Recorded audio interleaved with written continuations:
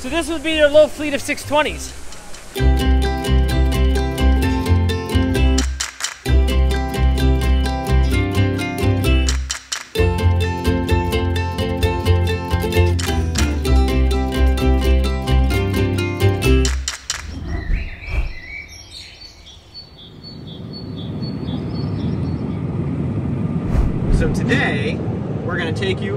Factory tour of the nuCamp facility in Sugarcreek, Ohio. Wow, that's great. That's beautiful. I've seen many, many farm fields, but I love the fact that there's so many hills. It just has this picturesque look.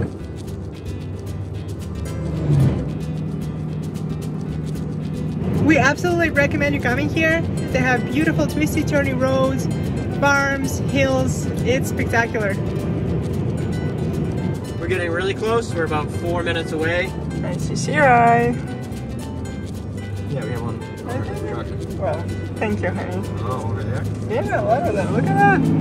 Shirai, Shirai. And some tabs. Yay. So we are here, but it seems like there's lack of parking or Very busy day, I guess. yeah, so we are trying to find a place and Scott might need to ask someone where we need to park. It's busy, busy, busy. Home sweet home for our camper. There's a thunderstorm coming. Getting very, very windy. I think we made it here just in time. I got a first raindrop.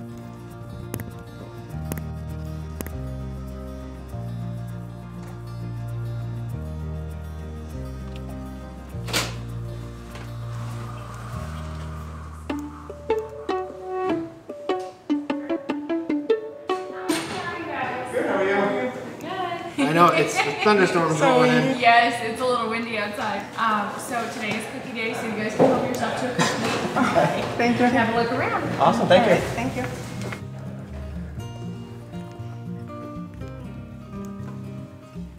This is perfect for going on the weekend. Imagine this, like we used to camp on our Highlander. This would be definitely an improvement.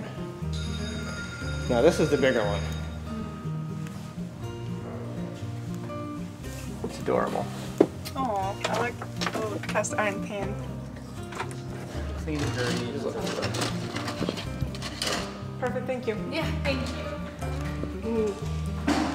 All safe now.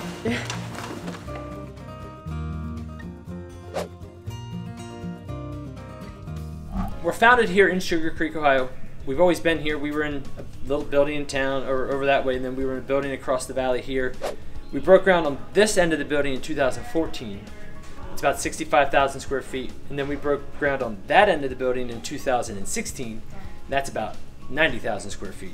So you're like 150,000 Yeah. square feet. And then is, is that your new service center over there? We broke ground on that in April, end of April, Ah. beginning of May, and that is our new service facility. We're excited. It should help help everyone out. Like it should help you guys out, our customers. It should help our dealers out. Um, it should just be a, a better experience overall. Yeah, that's awesome. That brings us to this here. Joe, our founder, went to a leadership conference, and uh, this is what he came back with, right? I just like to highlight the first paragraph to be a group of men and women that care deeply for each other, honor one another, are transparent, build relationships that change people's lives. My experience is this is how they operate, right? When no one's here, this is how they operate. When this building's full of customers or people, this is how they operate. They're very consistent. You know, they don't just do it for a show, they do it because that's who they are bit of history here as well. So this represents the entirety of our company in 2010, um, all 12 of them. so we've gone from about 12 employees to we're running around 175, 180 employees right now. So we print all of our graphics here in house, and they're all printed here in this room. Okay. Um, just this is where all that all that magic happens. We don't do custom graphics per se. We pretty much stick with what we got, but um, that's where all of this gets done. I love all that machinery, like CNC cutting machines and. Mhm. You can kind of see the machines from where, you, where where we'll be, but you can't really like see what they're doing. Yeah, yeah, of course. Yep, we're gonna come right through this door here. This is where you go to So right out here to the 400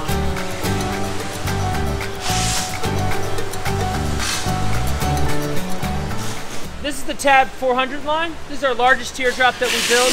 It's pretty tall. Like I can stand up inside of it pretty easily. Right now we're building around 19 units a week, depending on supply chain, but right now it's about 19 units a week. So that equals out to four stations a day. So, and then three stations on Friday, hence the reason they get done a little earlier on Friday. Units start here, they actually just flipped this one over. They're getting ready to do a roll, so this one's getting ready to roll down one spot. The wheels are actually in a, like a, a rolling system, so we just physically push them down one space at a time. The, uh, the units will move, obviously. The people do not. They just stay in their stations and just do the same job approximately four times a day. This is all part of this line. This is our cabinetry comes in, in in carts, and then in this place, we assemble all the cabinetry, put it all together. It gets put on this lift here. Once they're ready for it, they lower it down, pick it off as they need it, put it right on the build, keep right on going.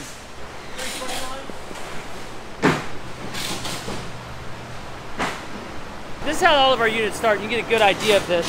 They start upside down here. So the tanks go on and everything gets put on. Then when it gets flipped over, it gets put in these wheel tracks. You see those wheel tracks that they're in? Yep. And that's how we easily push them down one at a time. Ah, So we use one solid sheet of aluminum for the roof. See that big bluish white roll over there to the right? That's the aluminum roof. So that'll be pulled over the top, put in place. This is our TAG line here. So this is the smallest unit that we build. It's got an outdoor kitchen, it's got fresh water, AC, and now heat. The 2021s and 2022s all have a heat option as well. So this cart represents one Tab 320S. So all the cabinetry for this Tab 320 is on this cart. Our original building that we built here in 2014 stopped right here. So all of what you're getting ready to see, all the woodworking and stuff, was trying to be done down this line here. We expanded and made this all into prep area, receiving, things like that. Our plumbing department, which is down around the corner, and our electrical department, which is also down there around the corner, uh, those departments didn't exist. All what's being done there used to be done on the line. And so by expanding, we've, we've allowed a lot more prep space and made our lines a lot more efficient. One thing we do too is twice a year we deep clean it, right? So twice a year, and we just did it about a month ago, beginning end of June, beginning of July, and right around Christmas we'll do a deep clean. When I say deep clean, I mean every single item is moved off the shelves, every single shelf is wiped down, every single beam is wiped down through the factory. Um, so we do that twice a year, hence the reason it stays like this a lot. Every night this whole shop gets swept, like every aisle here will get swept every night. Dust is very flammable. It is. And so by keeping it very clean, it keeps our fire damage or fire hazard way down. What we do here is what I call plumbing harnesses, right? So we do plumb all this stuff together so that when it gets to the line, our guys don't have to do it, right? Um, it saves us a lot of time, a lot of energy. Uh, obviously, we use residential grade PEX piping and then clamps, right? So we try to have the same people do the same jobs all the time. Bill, right here behind me, is one of our main clampers. He typically does about a thousand of these clamps a day. We try to have the consistency in who does what, right? Practice makes perfect. It does, and so it helps us track down any quality control issues as well. All the red bins would be plumbing. So if you see a red bin, it's for the plumbing department. All the gray bins are for our electrical department. Same idea, we try to have the same people wire the same things every time. We try to build the bins the same way every time, like this bin and this bin essentially look exactly the same. That way, uh, when guys get on the line, they know exactly what they're getting. They know if something's missing. It's easier for them to track what they need. We try to build the boxes in the order that they're going to need it as well, so they're not searching for stuff. The thing that we believe sets us apart in the industry, one of the main things is this, our cabinetry and our woodworking.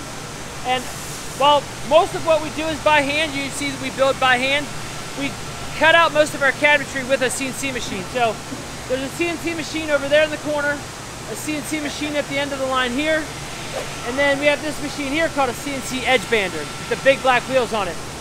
Uh, so what that machine does is it puts a finished edge on the countertops, tables, anything that's curvy or fancy, it puts a finished edge on it. The other two machines do all of our cabinetry cutouts, make sure they're always the same every time. So that sign is above every one of our production lines. We try to operate as a team, and that's what our what we shoot for in that team atmosphere is that service sign. The thing that matters the most to us is your happiness as a customer, right? And so that's part of our statement. And so if you couple that with service, it guides a lot of how we do our business. So this is where the cirrus starts. So all the walls will get prepped here, graphics, hatch doors, lights. Once it's done, it goes on this lift here. It goes, you can see a wall hanging up there. So that's how they get over to the line then from here. Separate from the teardrop line, so all the walls come here for that. This is super cool so far. I love it. It's so clean here, I can't get over it. Idea of your sidewall construction, right? Got your aluminum frame, Azdel vinyl wallpaper, and this is actually what Azdel would be like without anything on it. This is a sheet of Azdel without any cover. So this is a Cirrus truck camper roof. So this is what it looks like once it's on the camper, it gets a piece of aluminum that goes over the top. And it just floats on that. It actually isn't glued down to this directly. It's attached on the sides. So some people will say like, it looks like my roof is floating. Yes, attached on all the sides, but it's not attached here in the middle. The Azdel is, so it's marine grade composite board. One of the huge advantages of it is if it gets wet, it doesn't delaminate, it doesn't swell, things like that. It doesn't really absorb water. A lot of water damage over time can cause it to, to break down eventually, but for the most part, it mitigates the damage that water would do versus wood. Right now with the 820, when we're running at full production on that, it's around seven units a week versus those lines over there, we're running about 70 units a week between the three lines. 10 times more. Yeah, right. Yep. We only have one line for our truck campers, so we switch back and forth. Like we build a run of 620s, and then uh, for a couple months, and then we switch over and do a run of 820s for a couple months, back and forth throughout the year. When the 920s getting built, it'll probably be built right here on this line as well, and then we'll have to even push those runs out a little bit further. It starts here. Dwayne puts everything together. All. It actually starts upside down, just like the teardrops. It Gets flipped over once the tanks and stuff are in, and floor gets put on. Then it moves down line, cabinetry, sidewalls. You can see how that roof, that Azdel material there on the roof, and then three stations down, that aluminum just goes right across the top there.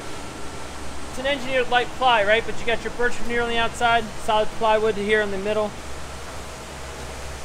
A lot of cabinets go into an 8, 820. A lot of work goes into making it finished. Yes. Same idea here. This will, when they're ready for that, for that, uh, for the cabinetry, this will just lower down. Hinges right here at the back, just lowers down. They just pick it off, set it on the build. So this here hinges right here. So it ends up sitting like an angle like this. It used to be just be a slide ramp where we'd have to lower them down with a, like a hook. But then once we decided it was better this way, we put this in. Down here's the Barefoot. The Barefoot is from a company in Europe called the Barefoot. The lady who designed it wanted to bring her design to the States, so she partnered directly with us. So we are in the process of getting it ready to go.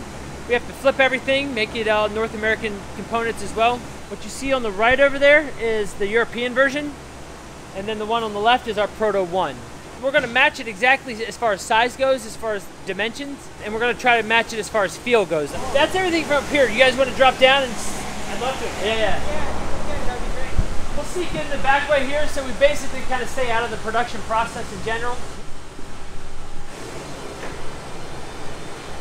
This kind of gives you a little bit of an idea of a little bit more close of what's going on. We have several of those throughout the shop. Basically, it just helps us keep track of our inventory better.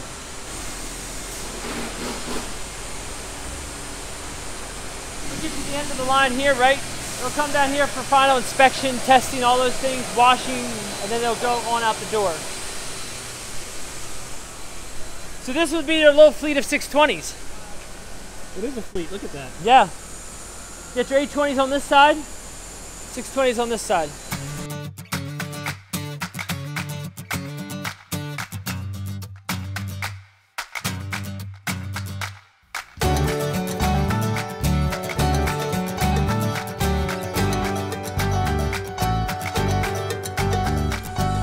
Here you actually have a 620, 820 side by side, another 620 up there. So you can kind of get a size comparison between the two.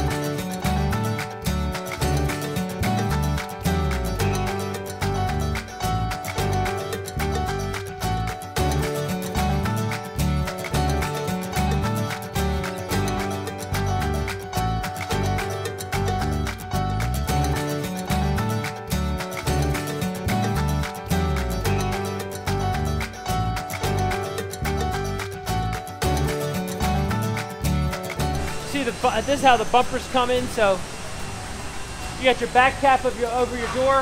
You got your bumpers there.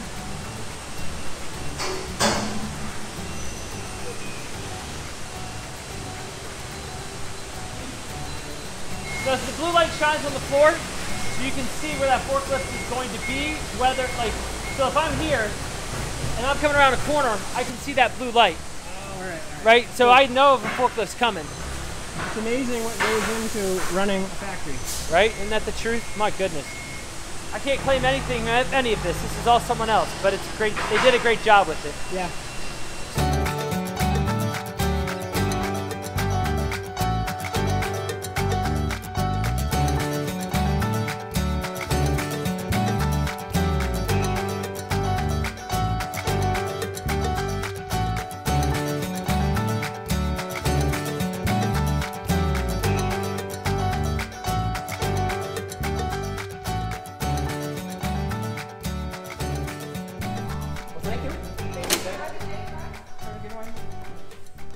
That was pretty amazing tour. I love the facility. Really clean, really nice, super organized. Yeah.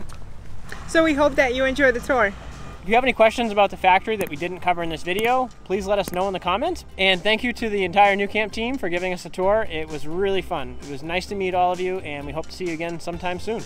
Beep, beep, beep, beep, beep. Oh. Thank you guys so much for watching. And we'll see you in the next video. Bye. Bye.